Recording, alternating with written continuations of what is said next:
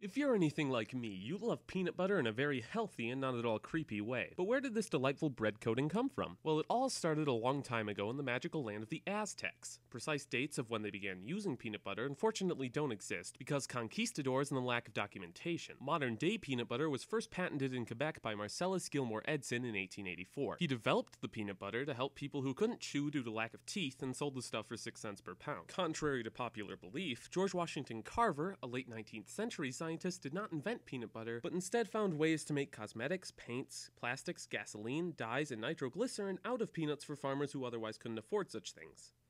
Like nitroglycerin.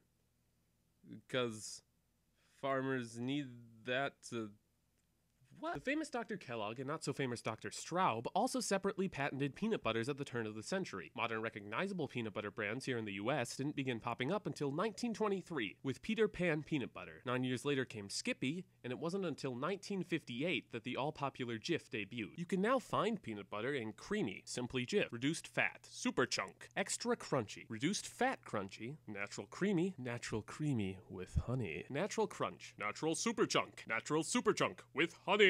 Honey Nut Creamy, natural, one third less sodium and sugar. Roasted Honey Nut Super Chunk. Omega 3 Creamy. Omega 3 Crunchy. Peter Pan Natural.